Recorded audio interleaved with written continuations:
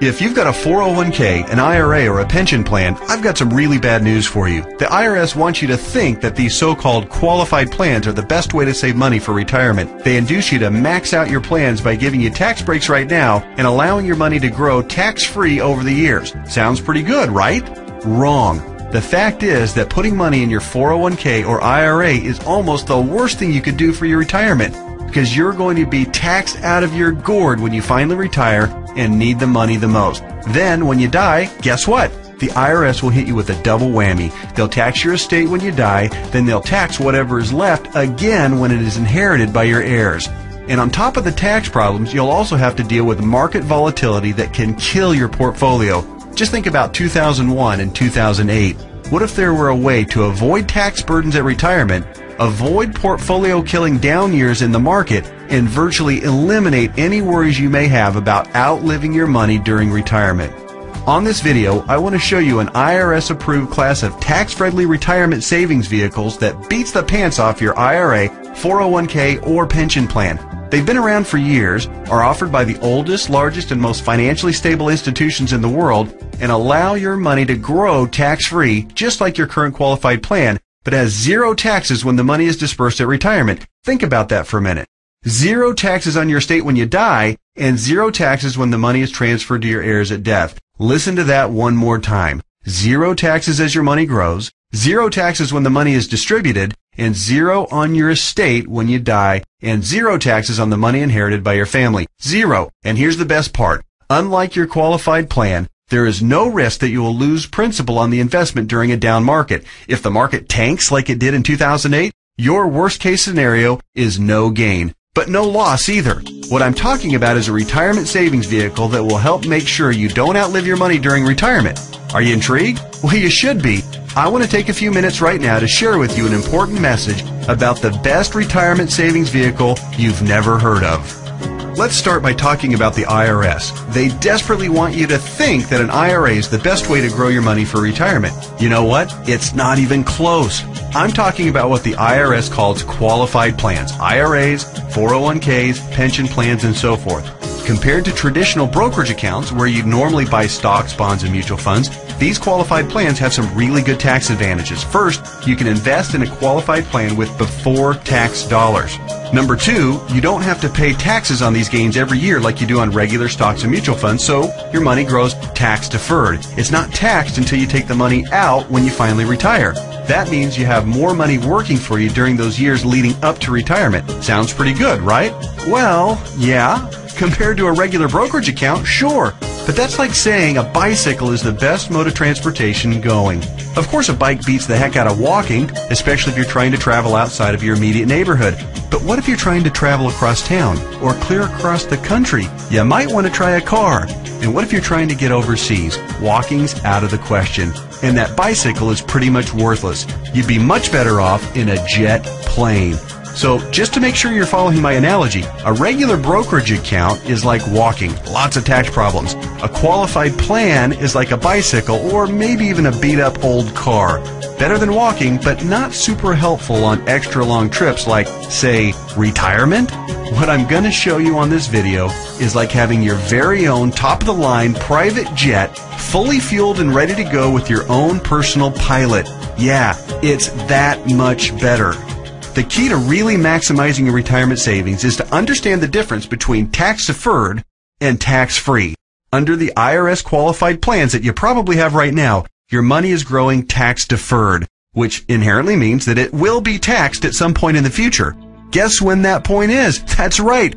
When you retire and need the money the most. You probably won't be working. Tax rates will probably even be higher than they are now, and you won't have any IRS friendly deductions for kids or mortgage interest if your house is paid off, which means that you'll be paying a huge percentage of what you take out to the IRS in taxes, which, of course, reduces the amount that you have to spend for living expenses and lifestyle. Here's another way to look at it. Uncle Sam is counting on you to pay more than your fair share of taxes when you retire. Think how brilliant that is. Let's encourage people to contribute money by giving them a tax break now, then let that money grow tax deferred so we can get an even bigger chunk of taxes from them later. Hey, I'm all for paying my fair share of taxes, but I tell you what, giving the IRS a bare minimum of $33,000 for every $100,000 I withdraw from my qualified plan at retirement? Just plain ridiculous. Look, you've paid taxes and you'll continue to pay taxes for your entire working career. Let's keep the government's hands out of our wallets at retirement, okay? For the record, that $33,000 out of every $100,000 you withdraw isn't a worst case scenario either. You realize that, don't you? With the probability that tax rates will rise, it's probably actually a best case scenario. Any right thinking person can see that the tax rate of 40 or 50% isn't out of the question 15 or 20 years down the road. So Let's talk about this so-called jet plane of retirement savings vehicles. You know, the one that beats the pants off a regular brokerage account or qualified plan. Before I tell you exactly what it is, let me show you some of the major advantages it holds. First, tax-free accumulation. Just like a qualified plan and way better than a brokerage account, your money grows year after year without having to pay taxes on the annual gains. Compound interest can then work its magic, which allows your money to grow bigger and faster. We don't need to have a discussion about compound interest, do we? If you're not familiar, just go to Google and type the greatest miracle of growing money ever known to mankind and find out about the greatness of compound interest. Second, tax-free distribution. Here's where your current qualified plan starts to look really bad. When you hop on board the jet plane of retirement savings vehicles, your money not only grows tax free, but you can also actually distribute the money at retirement tax free. That means that on the same $100,000 distribution I just talked about, you keep all of it, regardless of the then current tax rate. 30% tax rate? You won't care. You'll pay no taxes. 40 or 50% tax rate? Let everyone else worry about that. Your retirement savings can be used tax free. $100,000 means $100,000 to spend, not $67,000 or less. Which do you prefer? Third, tax free transfer. With a qualified plan or with a regular brokerage account, your money will likely be taxed twice when you pass away. Once on the amount left in the account when you die, and then again when your heirs receive the leftovers as income. Great for the IRS, horrible for your estate. The jet plane of retirement savings vehicle lands smoothly here too. No death taxes, no inheritance taxes. If you've got a million bucks in your account when you die, your heirs get the full million. Uncle Sam? Nothing. Transfer tax laws are, however, fairly complicated and there's some exceptions and some limitations. So ask the qualified advisor who gave you this video to discuss your situation with you. Fourth, no risk of loss of principal. Remember when the stock market lost over half its value in less than 18 months starting in October 2007? Of course you do, because your portfolio probably lost half its value or more during that same time too. Did you start having nightmares about being 82 years old and still working part-time at Walmart just to keep food on the table? Your qualified plan has no way to protect you from that kind of market volatility and downside losses. Ouch! Not true with the jet plane of retirement savings vehicles. The principal in the account never loses altitude. When structured properly, there's no chance it will lose any principal. Not a dime. Not a penny. Nothing. If you'd been on board with this in October 2007, your portfolio would probably look a whole lot prettier right now. I'll explain why and how in just a minute. Fifth, dramatically reduce the chance of outliving your money during retirement. Survey after survey show that baby boomers' number one fear about retirement is outliving their money. And hey, you know what? That's a perfectly reasonable fear if you ask me. If you have a million dollars saved and you retire at age 65, that's pretty good if you only plan on living until you're, say, 70 or 75 and if you don't have any significant medical issues. But how do you stretch a million dollars or whatever amount you end up having saved by the time you retire for 15 or 20 or 30 years, especially given the increase in cost of living and the likelihood of needing specialized care if you do end up living into your late 80s or 90s? Not to worry if you ride the jet plane of retirement savings vehicles. When structured and funded properly, it'll keep on paying and paying and paying all through your 70s, 80s, 90s, and even beyond that if you're lucky enough to hit 100. Hey, you're more likely to hit 100 Okay, okay. There are even more advantages, and I'll cover them in just a minute. But first, let me address that question that I know is nagging you in the back of your mind. You're saying to yourself right now, okay, this all sounds great. Everything you've said so far makes a lot of sense, and I'm interested. But hey, pal, what's the catch? We all know that anything that sounds too good to be true probably isn't. Hey, I hear you. Between Enron, Bernie Madoff, and the great stock market meltdowns of the 2000s, a healthy dose of cynicism, skepticism, or both is not only understandable, it's just plain smart. I'll tell you what the catch is, and trust me, it's more like six seconds of turbulence on your six hour flight to Hawaii on your personal jet plane than a catch. But first, a quick reality check. Just because you've never heard of this before doesn't mean that it doesn't exist, doesn't mean that hundreds of thousands of people aren't already using it, and doesn't mean that all of the advantages that I've talked about aren't absolutely real and sitting there just waiting for you. So, here's the six seconds of turbulence catch. Per IRS rules, you have to fund the plan I'm telling you about with after-tax dollars. In other words, you can't deduct the amount you contribute off your current year's taxes like you can with a qualified plan. That means that if you were to contribute $6,000 this year in an IRA versus this retirement savings vehicle, you'd in reality pay an extra $2,000 in taxes this year, assuming a 33% tax bracket. If you're in a lower tax bracket, naturally, your tax savings would be less. That sounds like a drawback, right? Well, actually, no. To understand why funding with after-tax dollars instead of before-tax dollars like you would with a qualified plan is not a drawback, you just need to understand the alternatives. Answer this philosophical question. If you were a farmer, would you rather pay taxes on the small sack of seeds when you purchase them in the spring, or would you rather pay taxes on your entire harvest when you sell it in the fall? Well, do the math. If a farmer bought $1,000 worth of seeds and was taxed at 8%, he'd pay 80 bucks.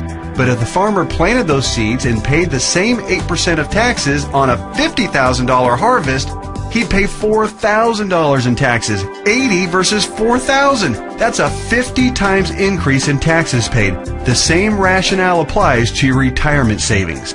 In fact, the amount of money you save on upfront taxes with a qualified plan, remember, you'd save $2,000 in taxes by making a $6,000 contribution into qualified plan, okay? Will almost certainly be dwarfed by the taxes you pay at retirement to the tune of about 10 times at least. Here's why. If your $6,000 grows to $100,000 over the course of the next 30 years, remember the magic of compound interest. This is very reasonable. You'll pay at least $33,000 in taxes on the harvest. We already talked about this earlier. That's $33,000 straight to the IRS right when you'll be needing it the most. Would you rather pay $2,000 in taxes right now or $33,000 at least in taxes later? It's as simple as seeds and harvest. I've said it once and I'll say it again. No wonder Uncle Sam loves qualified plans so much. It's his way of protecting his financial future. Okay, okay. So let me go ahead and draw back the curtain and show you what the jet plane of retirement savings vehicle is. Just do me a favor and hear me out because I'm going to admit it right now, right up front, it might sound a little, well, boring right at first. That's because it's a life insurance product called Indexed Universal Life Contract, or IUL for short. Stick with me, Skipper. Don't be fooled by any stereotypes of what you may think an IUL is. This is different than any kind of whole life or variable life or universal life plan that you may have heard about or purchased in the past. The fact is, IUL is a lot more about savings than it is about life insurance, although it does do a nice job of providing that too. Hopefully the tax advantages and principal protection advantages I've told you about are clear enough and big enough to keep you interested. But you also need to know that the IUL, when structured and funded properly, beats the pants off of any other kind of retirement savings plan in every comparison category that matters, including growth potential, risk avoidance, liquidity of funds, flexibility of contributions, flexibility of distributions, longevity of distributions, and fees. Everything.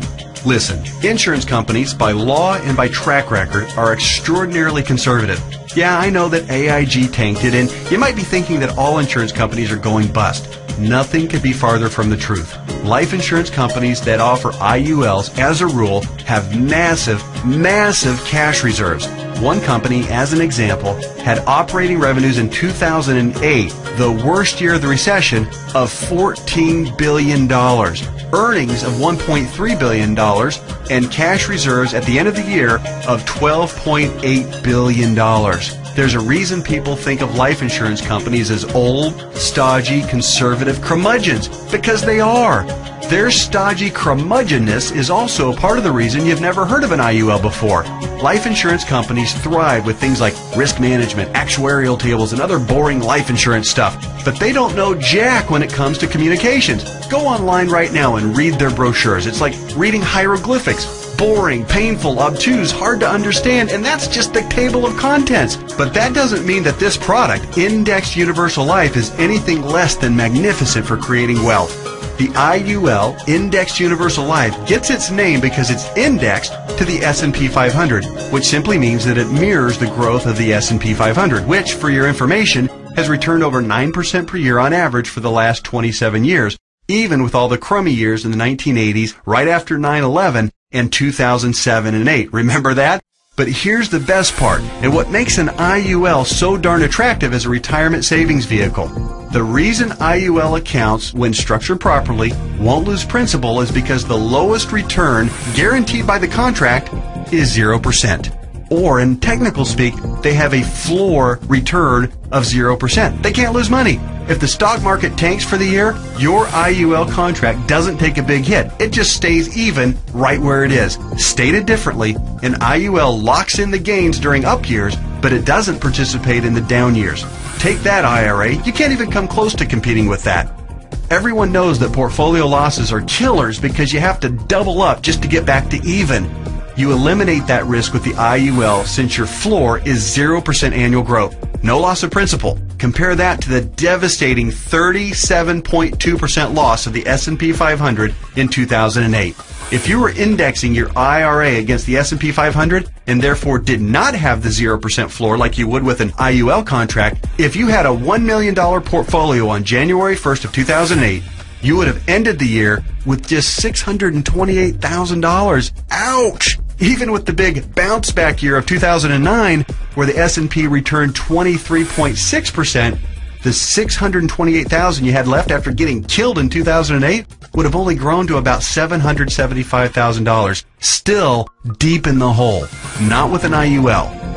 Now that brings us to the other catch of the IUL. It does offer the peace of mind of the principal protecting 0% floor, but it does also cap the gains on the upside. That means when the market has a huge growth year, your investment will be capped at somewhere in the 12 to 15% range, depending on the carrier and the contract. Don't bail out on me now. Trust me, this is not a big issue. In fact, quite the opposite. We're talking about six more seconds of turbulence on your six hour smooth plane ride to Hawaii. Here's why. Realize that huge gain years almost always follow what? That's right, huge loss years. 2003, for instance, was great, 26.3% gain in the S&P 500. But it followed three consecutive years, 2000, 2001, and 2002, of negative returns, 12.2, 13.4, and 24.1% respectively, negative all three years. Let's run those numbers. If you had a million dollars in your IRA on January 1st, 2000, it would have fallen to approximately 878,000 at the end of the first year. Then continued to fall to just over 760,000 at the end of 2001 and then plummeted to a measly 577,000 at the end of 2002. That same million dollars in a loss protected IUL would have retained its worth at a million dollars at the end of 2000, even though the market was down, remember? Still been worth a million dollars at the end of 2001, and guess what? Still worth a million dollars after 2002, even though the market got slaughtered. That's three consecutive down years and $423,000 in avoided losses. Wow. Then, in 2003, let's say that you were with an IUL carrier that had a 13% cap. Remember the big downside catch? It has a cap your million dollars would have grown to $1.13 million. It grew. Meanwhile, the qualified plan portfolio that tanked from a million dollars down to just $577,000, remember that one? It would have gotten the full benefit of the 26.3% market gain, not a 13% cap like our IUL contract. Yay! But let me ask you this. Would you rather add 13% to a million dollars or 26% to $577,000? 26% added to $577,000 only brings the account up to about $728,000. Again, compared to 1.13 million. This is a no-brainer. At the end of the four-year cycle, you would have been ahead by over $400,000 with an IUL. This is real money in a worst-case scenario. The only way a qualified plan could possibly do better is if the S&P were to go up unfettered by over 15% per year for 5 or 10 consecutive years with zero negative years. Do you really think that's going to happen? And even in the 1 in a million chance that it did, Get ready to pay the tax man when you retire.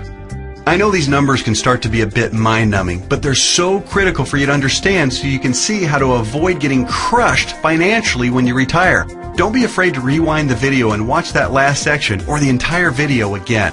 I want to continue with the examples just a little bit further. We stopped our examples at the end of 2003. Remember, the IUL account that started with a million dollars had weathered the storm and grown to 1.13 million. The IRA account hadn't done so well and had managed to eke back to $728,000, but only after a really strong 2003. Now, let's look at what happened in 2004, 5, 6, and 7. The S&P gained, in this order, 7.2, 1.2, 12.8, and 1.2% in those four years. Your IUL account, since it's indexed to the S&P 500, and since all of the gains were between the 0% floor, remember that, and the 13% cap, your IUL would have taken all of those same gains, 7.2, 1.2, 12.8, and 1.2%. That would take your $1.13 million account right to around 1.4 million by the end of 2007. Pretty good, right?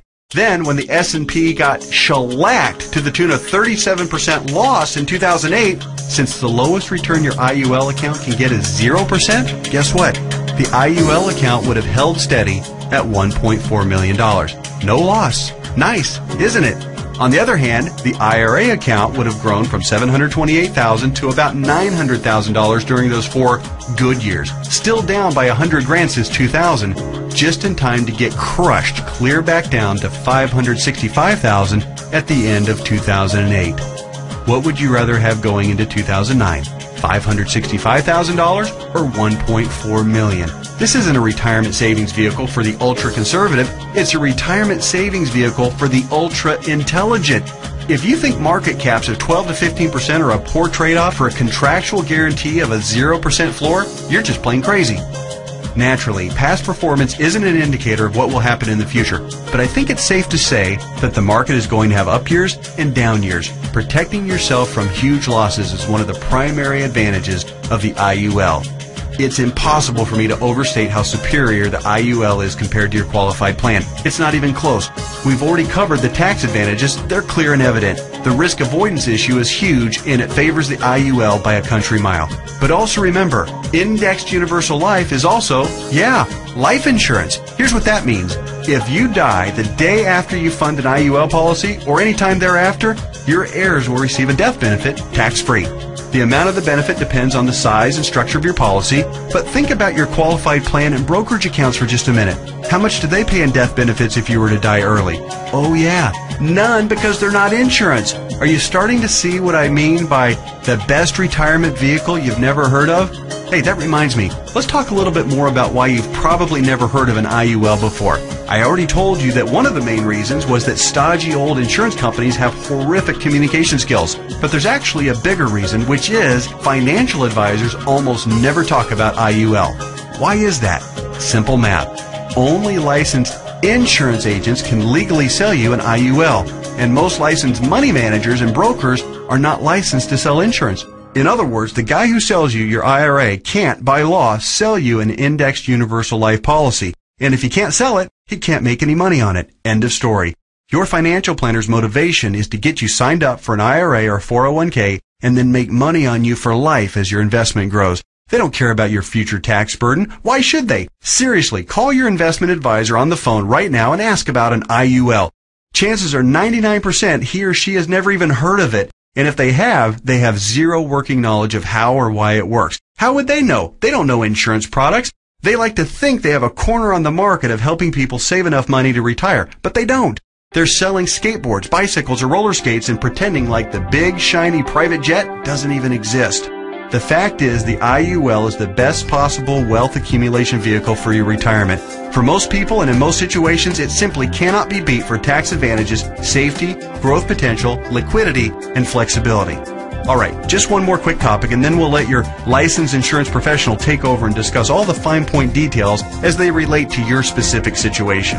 And that topic is the logistics of how the IUL works. It works like a life insurance policy in the sense that you make monthly or annual contributions into your account.